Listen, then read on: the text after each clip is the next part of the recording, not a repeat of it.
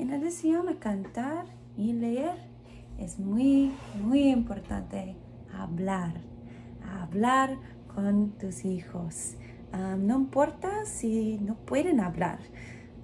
queremos los niños a escuchar a muchas palabras, a tener muchas experiencias nuevas. para todas esas acciones, ayuden a su vocabulario a crecer.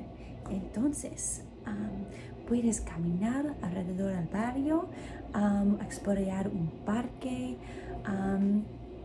apuntar y nombrar cosas, narrar tu día en el coche, hacer una, una lista de la comida que necesitas de HEB, del supermercado, lo que sea.